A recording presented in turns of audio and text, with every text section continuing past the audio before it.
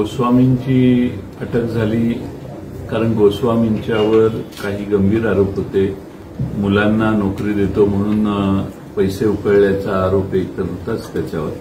पण ज्या बोटीवर धाड घालण्यात आली त्या बोटीवर देखील त्या धाडीत हे सहभागी होते आणि तिथं खंडणी कशी गोळा घ्यायची? पंचवीस कोटी का अठरा कोटी? याच्या बाबतीत त्यांच्याविषयी त्यांच्याच बरोबरच्या एका सहाय्यकाने आपली जबानी दिलेली आहे.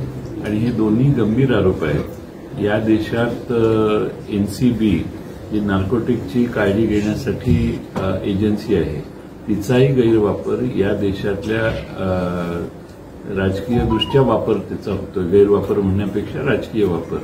कारण अशीच गोष्ट नवाब मलिक यांच्या बाबतीतही यापूर्वी त्यांनी केलेली आहे त्यांच्या नातेवाईकांच्या संबंधात. आज नवाबभाई ज्या गोष्टी सांगतायत त्या काय पुराव्यानिशी बोलतायत.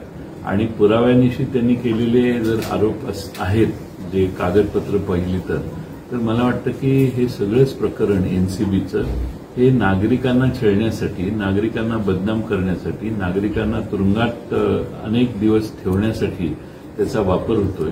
आज शाहरुख खान यांच्या मुलाच्या बाबतीत झालं. आणखी वेगवेगळ्या बाबतीत यापूर्वीही झालं असण्याची शक्यता आहे. म्हणून त्याची सखोल चौकशी होणं आवश्यक आहे.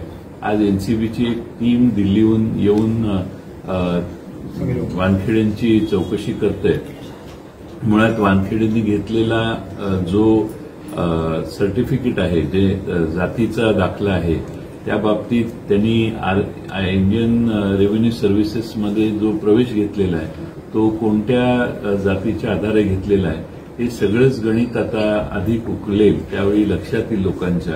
आणि मग फसवणूक कोणी केली कशी केली याचा खुलासा देखील होईल. मला अपेक्षा आहे की एनसीबीची टीम दिल्लीहून आली चौकशी केली ती खऱ्या गोष्टींची चौकशी करेल. कोणत्याही गोष्टीवर पांघरून घालण्यासाठी ती टीम आली नसावी असा माझा अंदाज आहे. विवाहाच्या वेळी जे लग्न लावून देणारे ग्रस्त आहेत त्यांनीही काही गोष्टी सांगितल्या. मला त्या मेरिटमध्ये आज जायचं नाही. ते योग्य वेळी योग्य ती माहिती लोकांच्या समोर येईल.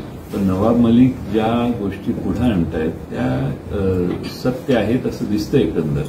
आणि त्या बाबतीत त्या जर गोष्टी सत्य आहेत तर त्या अतिशय गंभीर आहेत. केंद्र सरकारची तत्कालीन सेवेत जाताना फसवणूक करून सेवेत जर कोणी गेलं असेल तर तेही गंभीर आहे.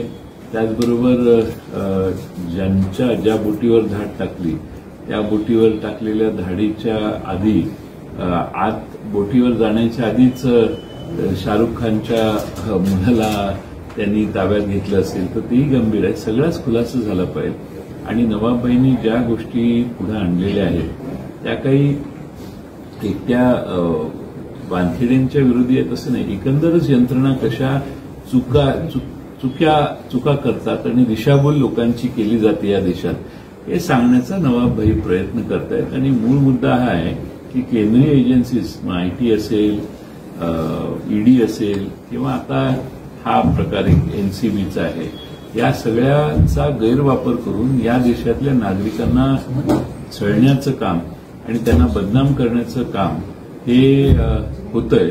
हेच नवाबबाई लोकांच्या पुढे आणतात असं मला वाटतंय.